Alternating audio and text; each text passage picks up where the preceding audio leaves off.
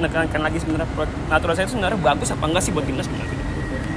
Jadi saya penekanannya adalah pemanfaatan atlet diaspora yang dimiliki oleh bangsa Indonesia. Jadi penekanannya itu bahwa kita punya sekitar 9 juta diaspora Indonesia yang tersebar di 90 negara. Sebagian dari mereka ada yang menjadi atlet, ada yang jadi atlet sepak bola, ada yang menjadi atlet basketball, ada yang menjadi atlet renang, ada yang menjadi atlet golf. Pertanyaannya sekarang, apakah kita mau memanfaatkan potensi talenta diaspora kita yang ada?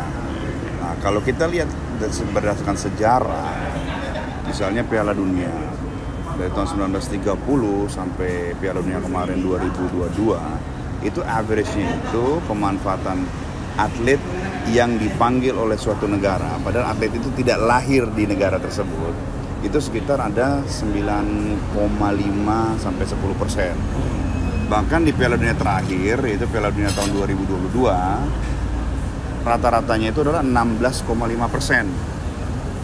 Nah, berarti satu dari enam pemain adalah pemain yang bermain di suatu negara dan negara tersebut bukan negara tanah kelahirannya. Bisa saja itu negara tanah kelahiran ayahnya ataupun kakeknya dan neneknya.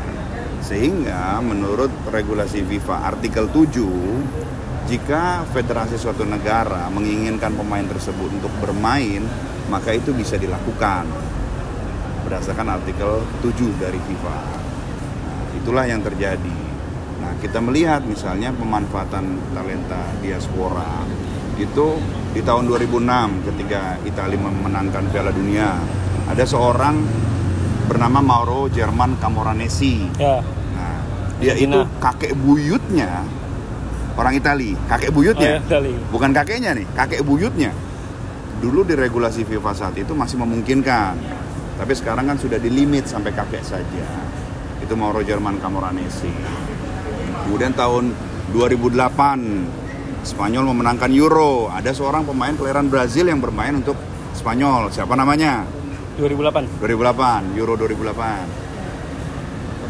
Marco Sena, betul sekali. Kelahiran Brazil main di Villarreal. Kemudian dinaturalisasi. Nah, kadang-kadang di negara-negara Eropa yang mungkin ada regulasi dui kewarganegaraan, mereka itu tidak berganti kewarganegaraan, tapi menambah kewarganegaraan Ya, ya, ya. baru.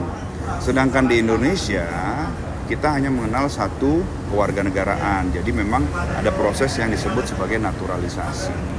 Itu saja sebetulnya yang membedakan. Jadi saya ingin menjelaskan kepada publik adalah ini loh tren yang terjadi di di dunia seperti ini. Seperti contoh ketika Roberto Mancini di tahun 2020 beliau menang Euro. Ya kan? Tetapi beberapa tahun kemudian beliau mengatakan, dulu saya ini sebenarnya tidak setuju dengan memanggil pemain yang disebut pemain oriundi, pemain keturunan. Namun situasinya sudah berubah. Akhirnya dia sebagai juara Euro 2020, kemudian dia memanggil seorang bernama Matteo Rategui. Ya, dinaturalisasi ya untuk bermain di timnas Italia. Padahal Roberto Mancini baru saja juara Euro 2020. Oh, berarti kurang kurang kekuatan. Nah, mereka merasa oke mungkin ada bisa tambahan nih, menambahkan daya gedor.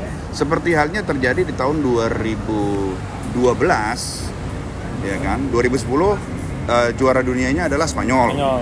Kemudian Vincente del Bosco memberikan sinyal nih akan memanggil seseorang bernama Diego Costa, Ya, ya kan? Padahal Brazil. dia masih ada David Villa, Ya, Villa. masih ada Fernando Torres.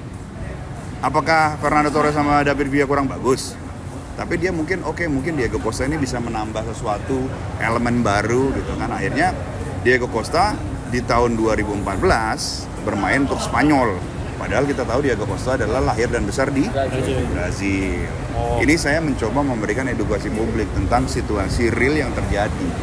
Sekarang pertanyaannya, kita memanfaatkan atau tidak? Kemenpora membuka peluang hal tersebut.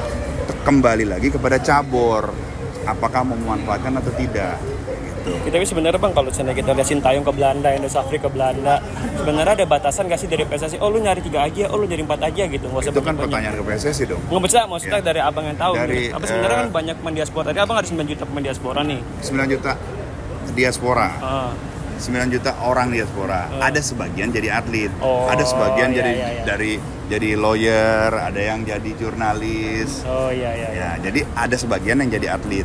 Ya berarti intinya ada batasan nggak sih bang kalau- Jadi begini, kita perlu makanya ketika itu saya menanyakan, bukan naturalisasi itu dianggap eh, di- ditanggapi dengan emosi Ya, seperti betul. judulnya, tapi equanimity, equanimity itu ketenangan, Hmm. ya kan, dan equilibrium. Kita mencoba mencari adalah formula yang seimbang, yang di mana pembinaan itu adalah kata kunci, ya kan, pembinaan itu kunci, ya kan, di satu sisi dan juga pemanfaatan atlet diaspora di sisi lain. Nah, di mana nih titik equilibrium, titik tengah, titik cerahnya di mana? Itu yang menjadi pertanyaannya, bukan emosinya, tapi ketenangannya di mana nih? Karena setiap tim itu harus ada equilibrium. Saya berikan contoh PSG. Kurang apa tim itu? Pemainnya bintang semua. Kok nggak menang juara Champions League? Ya kan? Itu kan argumen saya. Tidak bisa pemain itu memenangkan suatu kompetisi. Harus ada pelatih, Ya. ya kan? Jadi ini sinergi gitu.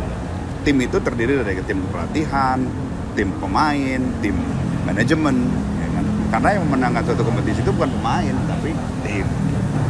Terima kasih sudah menonton. Silakan subscribe, like, dan jangan lupa komen di bawah ya bola spotter.